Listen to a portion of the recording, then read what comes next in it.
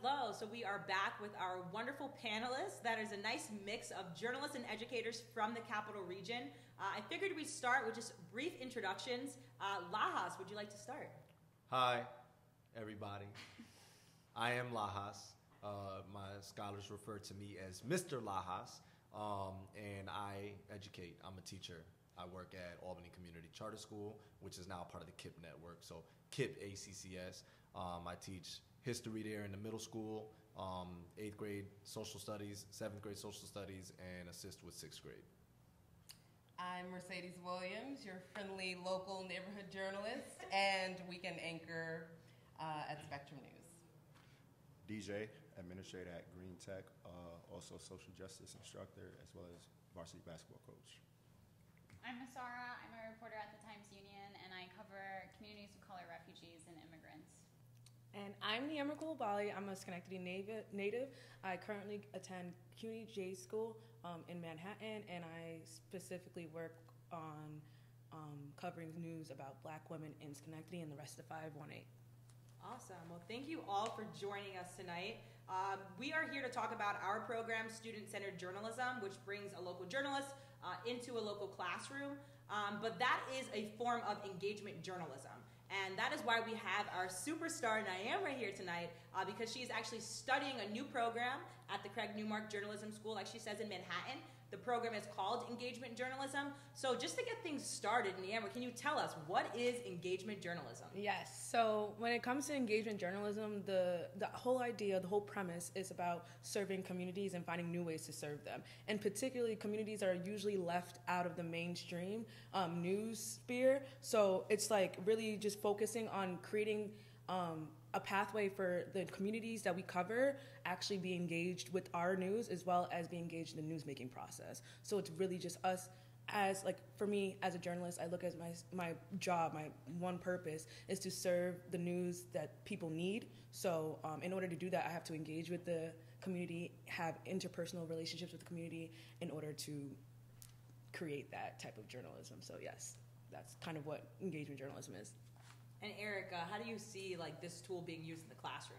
Yeah, I mean, I, the thing I love about engagement journalism is that it focuses the community around the, the newsroom and brings it into the newsroom and centers their voices instead of what the newsroom thinks should be on air.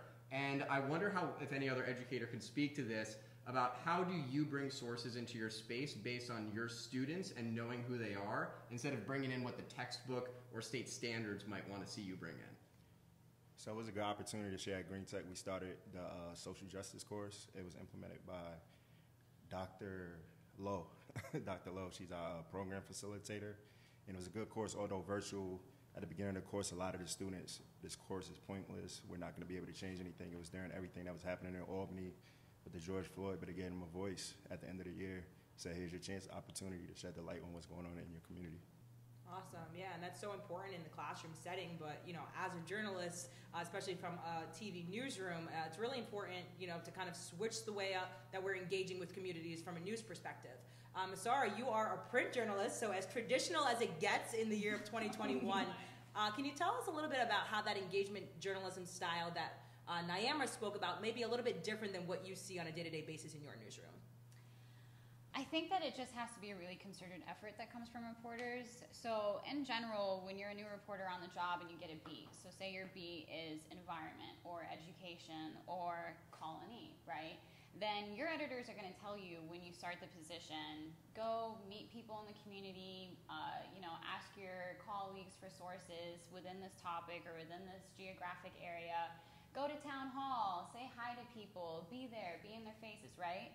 Um, that hasn't always traditionally translated to communities of color, and that's where journalists, um, you know, that's a mission of mine. I know Mercedes does that work a lot. There are a lot of other journalists that are breaking through, getting into these traditional institutions and saying, these are communities that have been historically left out.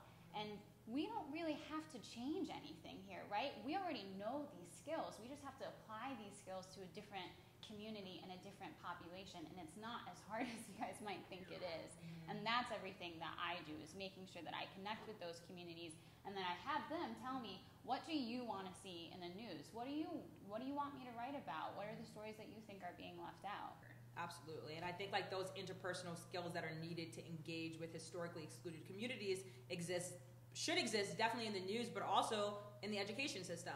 One of the things that attracted me so much to you, Lajas, uh, is the way that you're able to connect with your students uh, and your community. You know, you have live Facebook lessons, you're always posting your curriculum so the parents and other community members can be involved. Uh, would you be able to speak just briefly about how you're able to develop those interpersonal relationships with your community? Um, yeah, I think that the biggest thing is just as an educator, and you know, DJ does this great, um, is we just build relationships with our students. And we sustain and then make sure that we continue to build on those relationships. So when our students leave us, we the relationship doesn't end. And so we're connected to the students, to their siblings, to their parents and their relatives who are also connected to other children and other cousins right, that go to different schools and other, you know, aunties and uncles or just community members, right? So it's all about building relationships. And the more relationships that you build and continue to uh, mentor and continue to foster, uh, the stronger those relationships get in the community.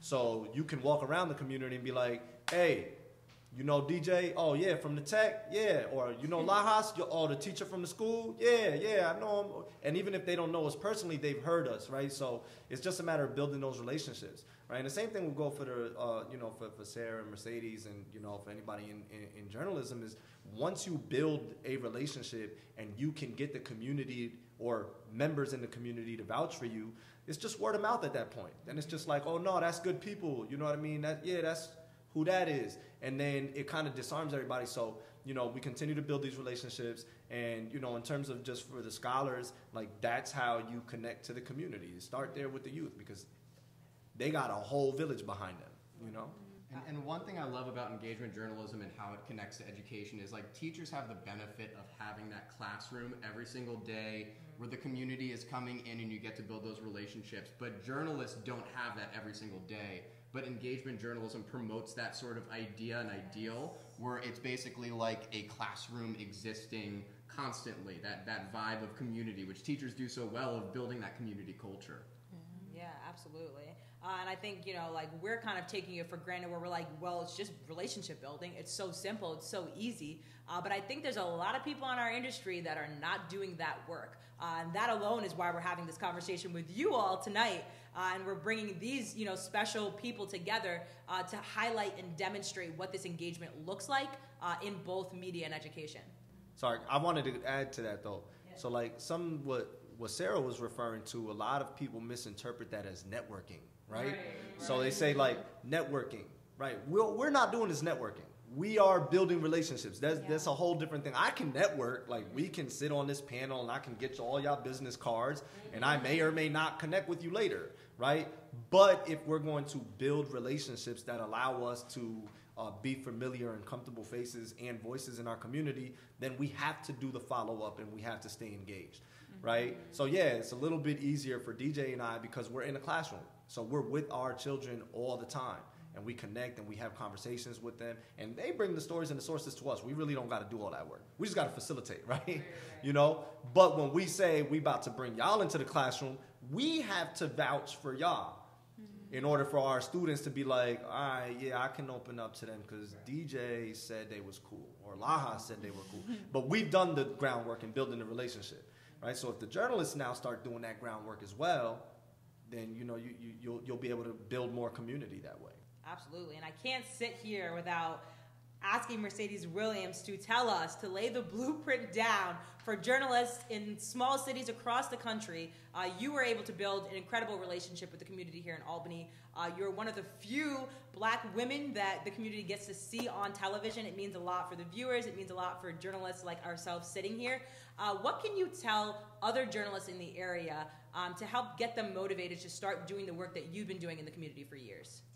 I think for me, why I love engagement journalism so much is because I'm always increasing my circle of, of contact and spirits. I think like as a journalist, a reporter, you can kind of fall into that danger zone of always relying on that that one person, that one community voice that you um, you always speak to, you know, in a pinch and things like that. And then next thing you know, you're always talking to that person, or it's like, oh, we just talked to that person last week. So for me, I like to go out into the community actively looking for stories, actively talking to people. I know sometimes when I come up to people, they're like, Who are you?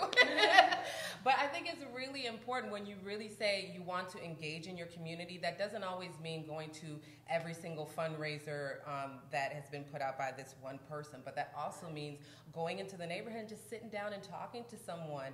And you never know what um, can come from that. So it, it's really important as a journalist to always be thinking about expanding your sphere of contacts.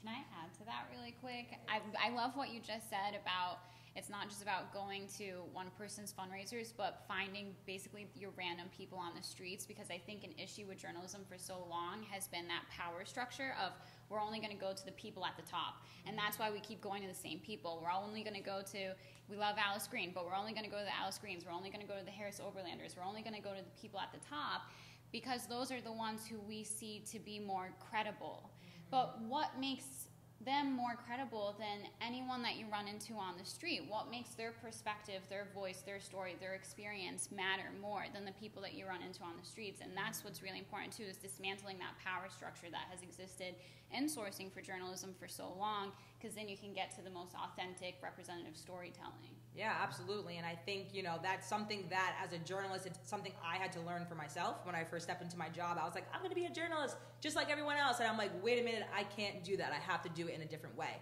Uh, and that's what I think is so interesting about your program. So maybe, Nyama, you can explain a little bit about how your university is preparing you to be able to, like, just deconstruct power systems? I mean, the one thing that I really enjoyed about the first semester in my program was like it was really a lot of conversations about how would we like how would we execute mm-hmm. engagement journalism? And the one thing that I always took away from those conversations was that you really just need to like what mercedes was saying need to like really build those conversations talk to people um, like and regular degular people like people who are just always in the community like that one icy lady i don't know if you guys always know those references like someone that's in, that's just here that's watching everything that you can go to mm-hmm. and like really building that relationship. I mean, I, I always like like the idea of building really big connections with people and like engagement in journalism allows me to build real connections with people, lifelong connections with people in the sense that like they trust me, right? Mm-hmm. Like if they have a news story or if there's something going on in their community, I want to build that relationship to them. So like they're like they call me up and they're like, "Hey, this is something really important. I think this should be in the news." So, I guess like the one thing that I really enjoy about my program is that they really emphasize that emphasize like even off the job like it's getting to the point where like i remember one conversation we had it's like you might need to actually be doing it off hours in the sense that like hey i might just take a coffee with this woman who i met when i was you know doing on the field and i'm taking coffee with her and she talks to me i talk to her mm-hmm. that's that's where that work really lies and that's where it's really strong i mean again it seems really easy and it seems really simple because it is but at the same time what Los was saying earlier is just like you can't just kind of go up to anybody. Like you have to have like people being able to vouch for you, people really feeling comfortable with you, especially when you said um, the historically like ways that we like the journalism industry has like impacted certain people or neglected certain communities. Um, it's really really important for us to go out of our own comfort zone and build those relationships. It's really like community organizing, but we're doing it from a news perspective. And I think that's why I really enjoy the program, and they really push that on us. Yeah. Yeah, and one thing that I'm just really hearing about this is there's so many different things that people can do and things that work when it comes to engage different communities that are excluded and also just shifting that power which is so important when it comes to addressing the current systems and wanting to shift them into something else that's more equitable. And that's what something that student centered journalism does to help transition us a little bit there, where student centered journalism isn't the answer, it's one strategy that we want to kind of promote and also encourage other people to create their own solutions just like we did. Uh, and we just want to use it as an example, really. Yeah, so coming up, uh, we're going to hear from our pairs of journalists and educators uh, to get a little behind the scenes of what their experience was with the programs, what stories the journalists told, uh, and what perspectives the students really wanted to elevate. Um, so stay tuned for that. Welcome back. Uh, really excited to be having a larger conversation because, as we said before, student centered journalism is one example of engagement journalism. It's one example of getting the community involved in education and journalism. So we want to have a larger theoretical discussion around the work that we're putting into this so it can inspire other people to take this torch. So the first question I want to ask everybody is what can middle school and high school students contribute to their local news? Students can be the voice of their community through their lens to uh, share their thoughts on what should be shared, whether it be positive instead of negative, because a lot of the limelight gets shed on the negative stories opposed to the uh, positive things that happen in the community. And that was actually one of my favorite parts about working with your class with student-centered journalism was how much they focused on joy and they really held on to that and just even knowing that they can have that power to hold on to that and influence that in a, in in a different way is really incredible Yeah, I would I would just add that um, they're gonna bring their voice, right? Or or a voice that represents their age, right? So even if it's not somebody from a school that I attend who was speaking, that's a middle school student, so they spoke like that's me, you know. So uh, high school students like that's us, right? And so they feel like you know their voices are being validated right uh, they can bring a fresh perspective they can bring a raw perspective you know? And so they're also going to say some things that we may or may not be ready to hear right?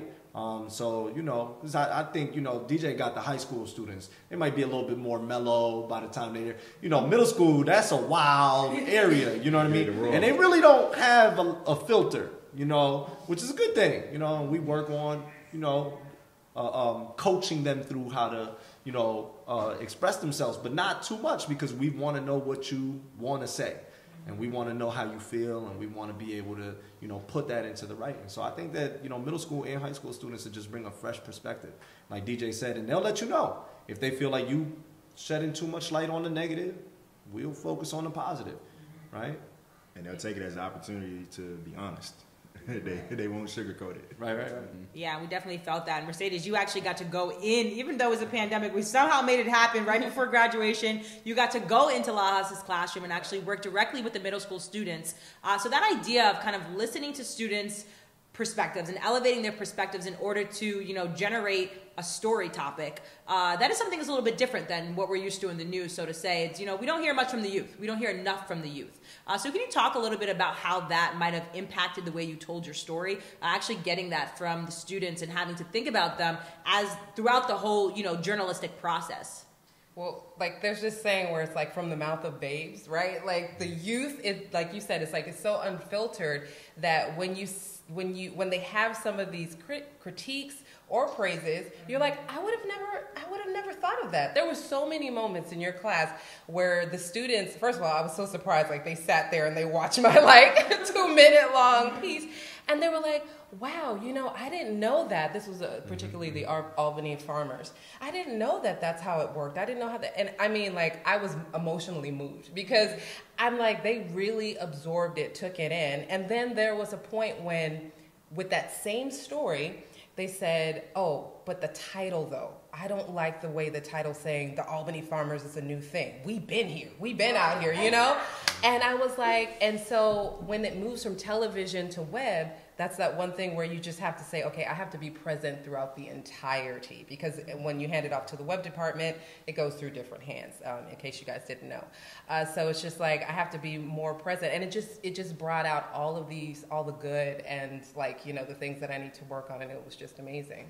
Yeah, awesome. And Neimra, maybe you can speak a little bit about kind of like that editing process and like, you know, including the community in that process and how difficult it can be when you hear someone like Mercedes say that there's other people that are touching this story. There's people that are changing these headlines. It is journalism is a collaborative process. exactly. So from an engagement journalism perspective, how do you guys view that collaborative process? So I think that's another thing that's really always talked about in my classes, um, especially just understanding that for us as engagement journalists, we have well, our goal is to serve the communities, and our goal is to make sure that they're at every point throughout the newsmaking process. And I think, especially as a person who is who's trying to build their own journalism career, I've just I already can sense that there is going to be that sense of difficulty on um, on letting like newsrooms and you know editors understand that like we actually really need to allow them to be a part of the newsmaking process from the beginning all the way to the editing, all to the end. And even when I say the end, I mean after it's published and cleared out, we need to go back to them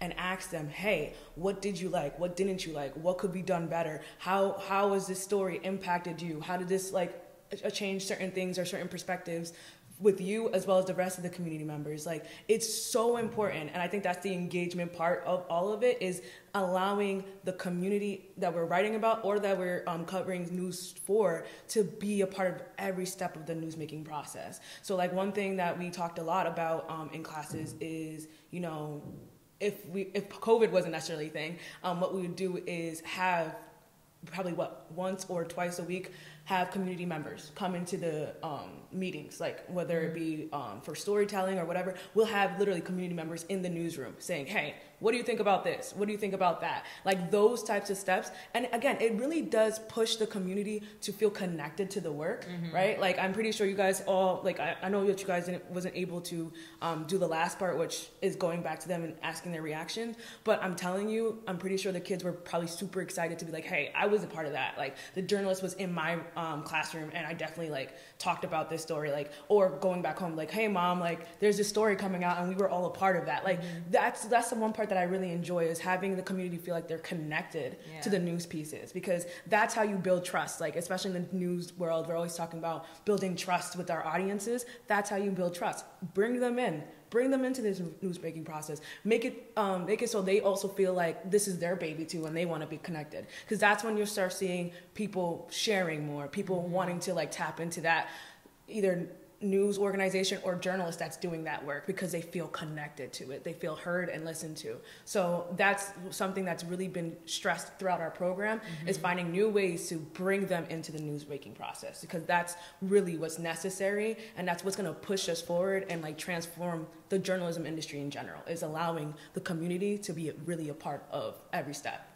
Absolutely. And Eric, is it okay if I ask you a question? Absolutely. I'm curious if you can maybe like articulate for us how that can translate into the classroom because the idea Mm-hmm. of like okay, for journalism there's this entire process where, you know, maybe the community should be involved in, you know, from the beginning to the end like Naima was saying, in like school and classrooms and like the pedagogy and curriculum, what are ways that we can make sure that the students are actually involved in the process of their learning? Yeah, I think the biggest thing is for teachers to stray away from teaching to the test, from teaching to the textbook, from really assuming, you know, the things that we have to learn and trying to more so shift to the things that the students want to learn and how they want to learn them. Um, yeah, I mean, does any other teacher want to respond to this? This is kind of a tough one. I think that when when the scholars saw their you know guiding question worksheet, right? And mind you, this this experience for them was at the end of the school year. Okay, so um, even though they're mine are only eighth graders, they're experiencing that first level of senioritis. Like I'm about to graduate from this middle school. You trying to get me to do journalism, right? Um, and so for the scholars who were involved, though, they got to see how the process looked from the other side. So they thought to themselves like, "Oh, okay, so this is how they this is how they do their stories. Like they they observe, they think about what's missing, whose voices are being you know amplified, whose voices are not. Like, is this what they kind of asked themselves? I was like, well, yeah. Did you ask them that though? Like, you know, um, so the, you know being able to see those um, those guiding questions, right, and kind of giving them that little bit of pre work to do gave them insight into what the journalists would do, right? Um, how you would think or act on this. And yeah, to your point, they felt like, you know, they were engaged, they were learning, they were talking, um, but it wasn't their social studies curriculum, it wasn't their ELA work. This was something, you know, new and fresh, right? Um, that kind of really was, you know, really driven by them. So they, they took a lot more ownership in it, right? So they, you know, what is the story that you guys want to put out? So they really thinking about it. You know, at first they were they were quiet, right? So they're like, we don't know. We could just pick one of those stories and you know just kind of work from there. And eventually they kind of you know started to get more comfortable with the process and uh, you know really brought it to fruition. So Yeah. And it was good just being a part of the social justice course because, like I, s- as I said at the beginning of the year, they were all like, "We don't have a voice. This, this course doesn't matter." Especially uh, focusing on the stories during the rioting, you will only see stories about the looters and the rioters. Let's put a view on the people who are actually protesting for the right reasons. Let's put that out there in the front. And I just think if this was available during the beginning, we could have added it and put it right there together. It'd have been good for both ends. Yeah, and just having teachers like Lajas and DJ in the classroom that really elevate the students' critical thinking and putting that at the front of the classroom instead of the actual curriculum itself and letting that guide the process, I think can be a, a really key part of that. Yeah, way to kind of bring that engagement journalism theory into the education system. Mm-hmm. Um, I'm very interested to hear from you. Uh, I know you worked closely uh, with DJ and the Green Tech students to bring a level of joy uh, that we kind of talked about that in the student centered journalism section. Uh, that the students in the class really said, you know, there's a lot of negative coverage. We want to see something that was joy. Uh, but then you also had some students that said, well, wait a minute, wait a minute. We want to make sure we use this opportunity to talk about what's really going on. Uh, so if you can kind of talk a little bit about how you were able to make both of those things come true, because it's kind of like two opposite ends that they were asking for. Yeah, they were really they really liked the Times Union story that was published about um, Albany High School's first Black valedictorian. They said this is awesome. It's highlighting Black success and Black joy. Um, but then the students were also really concerned about the gun violence that was happening in the community. And I, for one, was I didn't want to really broach that topic because so much of the time communities of color get covered in that context and within that topic. So I wasn't going to put that on the students, but they brought it up and it was something they were really concerned about and curious about. And so there was this kind of debate among the students like oh we really like these joyful stories. And i think it was probably half half like half of the students wanted joyful stories and half of the students wanted a story focused on gun violence and someone broke the tie. Um, and someone was a tiebreaker. Um, and so so then I kind of talked to them about okay, is there a way that we can meld the two together in, in some way? And that's where we came to the idea of what if we write about what happens after gun violence? Mm-hmm. So, what if we write about how the community comes together and grieves and heals in the aftermath of gun violence? And I just thought, like, for me as a, as a reporter, I was so grateful to be in that space because I cover gun violence a lot. Mm-hmm. And I'm always looking for new angles and perspectives and context to put the gun violence in. Um, and I was running dry on story ideas and talking to them, it just kind of sparked this idea where, yeah, you know what, all the time news coverage covers up until the bullets are shot. And then maybe there's an obituary about the person who tragically lost their life after the fact, and then that's it. And there's mm-hmm. never any follow through, there's never any follow up. And so this could be a great opportunity to look at a family or an individual who lost a loved one to gun violence and just seeing what does that look like for them years after the fact, you know? And um, unfortunately, the story wasn't necessarily as happy as I would have liked it to be. I mean, of course it's not. They lost someone that they loved to gun violence. It's so tragic and so sudden. Um, so I don't know how the students felt about the story in the end because it was more about coping and trying to figure out how to heal than actually healing and, and, and moving on, you know? But that's the other thing about journalism is you go into a story and you think that you know what the story is going to be and you have this idea, but sometimes you have to let the story direct you and carry you into what the story is meant to be and turn into. Um, but that was definitely like it was a very rewarding experience. Yeah, I think like kind of that the fact of like this is journalism. Sometimes the story changes uh, is something that we're gonna have to like tackle head on with engagement journalism. So I'm going back to Neimra for this one. What would you say to that? Like, how do you communicate that change? How do you communicate like that journalistic process to a community member who's sitting and waiting for a joyful story to be published? Uh, how do you prioritize that trust in, in that those scenarios? So, like for me, it's again going back to like what I've been learning. It's it's kind of it's kind of like understanding like what you're saying, understanding where two sides are coming from, but then also again being very trans- transparent to the community mm-hmm. to and understanding that like you know this is a story that we might want that we want might want to tell, but like this is where it's leading, and like mm-hmm. again bringing them in and being like this is where it's leading being as transparent as possible like do you understand why it might need to go this way mm-hmm. or like even breaking it down like really having these conversations are really hard but it's like again i think it's really important for us to continue to have that dialogue throughout the entire process. Mm-hmm. So what I would probably be doing is just like, hey, we thought this story's gonna go one way. This is where it's going, mm-hmm. you know. Um, does it speak to what people are actually going through? Because even with that example, like, of course, people want to heal and stuff, but a lot of it is just coping. A lot of it is just trying to figure it out each day.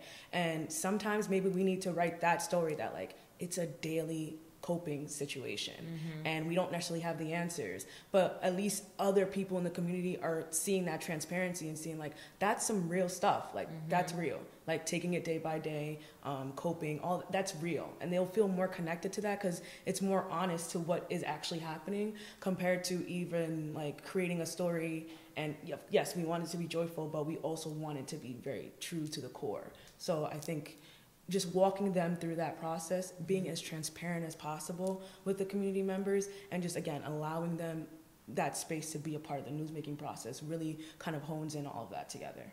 Yeah, and I think one thing that definitely stands out to me is like the time and emotional labor it takes to do the mm. work. Like it is not easy. Like we have to put in extra work to build those relationships, especially with people that we've neglected, you exactly. know, year after year after year after year. Uh, so one thing I love about Green Tech uh, is that they actually gave you a chance to be able to create a class during the pandemic where most schools were like hands on their heads, we can't get anything done. You had an ad, the Green Tech had an admin step in, and actually create a course for the first time. So maybe DJ, you could speak a little bit about like the school culture that allowed that decision to come to fruition. Um, because I think that a lot of the times people take for granted uh, when we see great things, and there's a lot of work that goes into that. So maybe if you could speak to how your school allows you know you to step up to the plate the way they do or what they do to support you in your mission specific to social justice. So it's good that we have the autonomy to create a curriculum that's centered around what the students interests are. And to have have that course implemented this year being virtual was good. A lot of the students learned i learned a lot from it studying just creating the uh, lesson plans like i, I taught myself a lot of things while learning for it and then in addition to it moving next year we're going to keep, keep it as a course but we might also try to implement it as an after school activity or something like that. Awesome. And Mercedes, you you know, you seem to be covering all the stories that you could ever desire, everything that happens. You get all the right people on television. Uh, what are they doing over at Spectrum that's allowing you to kind of like, you know, touch and do the work that you really want to do? I feel like their openness to listen to us as journalists really has um, given me like that freedom to be like because i mean i feel there the, a, a catalyst let's not let's be honest the catalyst to a lot of these newsrooms saying okay hey we got to re-look at how we're diversifying our stories and people who are reporting them um, happened after 2020 happened after the george floyds and things like that so but I feel like um, their commitment to doing that, um, I've noticed, like I'll turn on the television and it may not be a reporter of color who's reporting the story, but it's a story of color, an issue of color. And I've been kind of proud to see that. Um, another thing I noticed um, George, the anniversary of George Floyd's death came along, and I knew that that was going to be an important topic to um, people. And so I said, hey, you know, we should do something. And they went a step further. They're like, okay, we're going to give you a one hour special. And we're going to include like all of upstate. And I was like, okay. so it just feels like um, they have really been showing that effort to be committed to diversity within the newsroom, on screen, and um, the stories that they're telling. And I feel like that makes a big difference on the people who are viewing it because I, I mean, I hear from people every day, you know, it's so nice to see um, someone like you on TV because I, you know I think that I can do that one day. I can. I mean that always gets me. Even though I hear it a lot, it's still like when it comes from somebody, I'm just like it shakes me out of what I'm doing, and I'm like, okay, this is why engaging students and people in the community really matters because it's a trajectory of you know livelihoods. Can I just say something to that? Um, especially me um, growing up and being from Schenectady, um, I knew I wanted to be a journalist since I was like 16 years old. And one of the reasons why I actually left um, my hometown was because I didn't think I could do it here. And one of the things that are now encouraging me to do it here and to invest here is seeing you on television. So I need you to know that like it really does impact people. It really does like it really touches my heart. Like when we were together earlier today and I saw you up there, I'm like, I'm happy. Like that makes me feel good. Cause 16 year old me didn't have that. And I'm just really happy that maybe another little black girl in high school who wants to be a journalist sees you, it's gonna really encourage them to be like, hey, I could do it in my own hometown. I don't necessarily need to like leave and do all these other things. So yeah, like it really, it's a lot. Yeah, it's good. Beautiful. Sorry, I just had to say that. I just had to say that.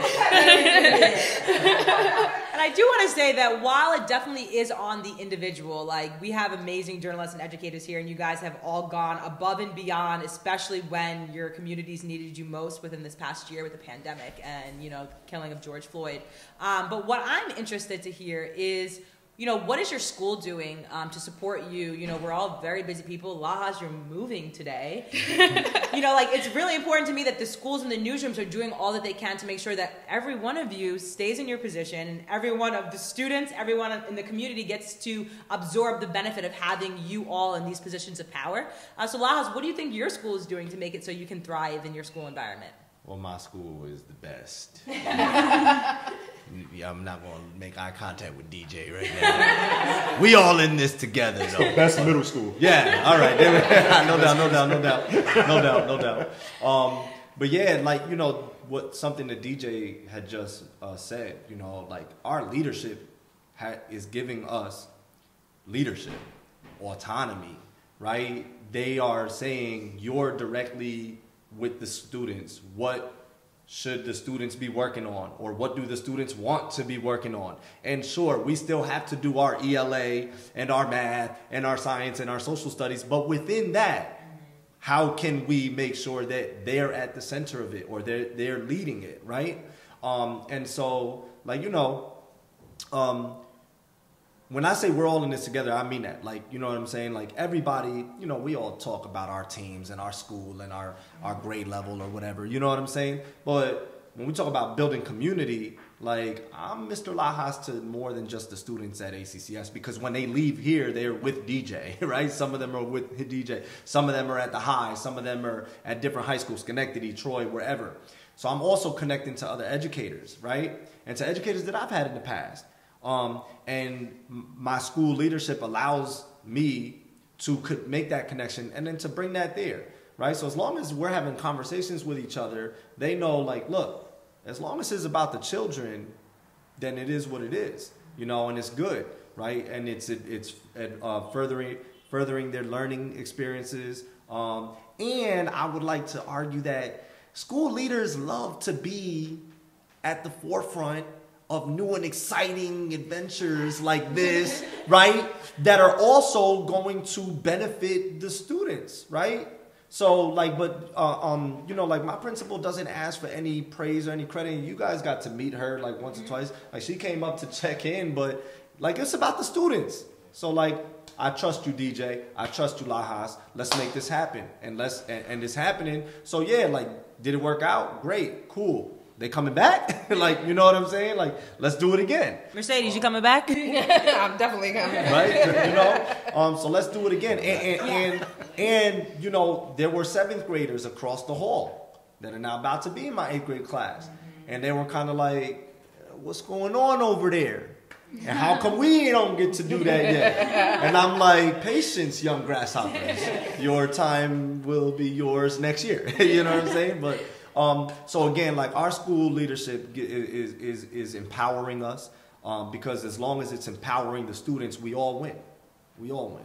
Yeah, and I really feel like education is always at the forefront of these types of changes. And as Mercedes said, there's more of a larger shift after the murder of George Floyd, and newsrooms are kind of catching up a little bit. And I want to shout out the Times Union as well for working with us as a print publication and kind of bringing us into their space to be able to do this program because newsrooms are, you know, some of them might be a little bit more asleep than others, but they're waking up to how key they are for democratic change, just as it is for education as well. Yeah, I actually want to give an extra shout out too because um, the Times Union actually got involved in a program called Table Stakes, which is uh, created by the American Press Institute. It's a Press Institute. It's a nonprofit media organization, and we started that program in April 2020. And one of our goals in that program was to better engage um, black readers and to better engage communities of color in general, but specifically black communities. And so, you know, I just like to say, like, we were ahead of the curve. Like, we weren't waiting for Floyd to take those steps. And it was really, it felt really good to already be in that position of having started the really nitty gritty in the mud work um, so we were prepared when really a, a catastrophe happened. Um, still had to have a lot of big conversations in the newsroom. Still, you know, always am going to are going to need that training that you guys provided and more training to address the whiteness that does exist in the newsroom. But it was ju- it was just really cool to see the newsroom leadership really take those steps to go outside of their comfort zone and go outside of what's traditionally been done. Okay, well, I think that that wraps up our discussion this evening. I just want to give a big thank you to the Center for Law and Justice for making this conversation, making these projects in both schools and both newsrooms possible. Uh, and thank you to the amazing journalists and educators and our engagement journalism expert uh, for taking the time to share their wisdom and experience with us. Uh, our hope for this is that other schools and newsrooms throughout the capital region will say, we want to do this work too. Uh, and you'll have this video to kind of lay the blueprint down for how you guys can get started doing engagement journalism as well. Thank you. Thank you, everyone. Thanks. Thanks for having us.